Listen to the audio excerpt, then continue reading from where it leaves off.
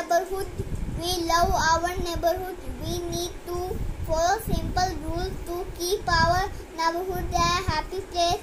Pick the good things that we need to practice.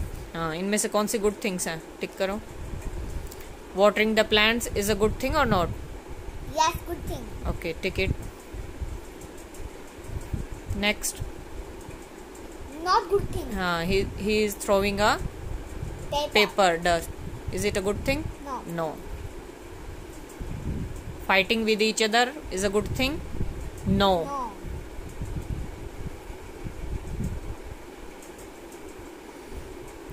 next. Correct thing. what he is doing? He is using dustbin. It is a good practice